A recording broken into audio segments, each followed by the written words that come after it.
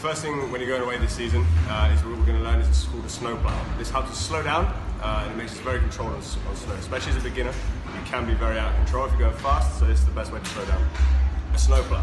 So when we're in the snowplow, there's two vital things which we don't ever want to do. The front of the skis here, if they cross over, it's not going to end well.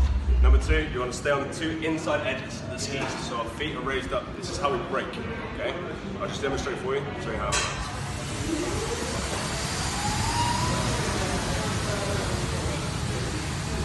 away from the put the skis together,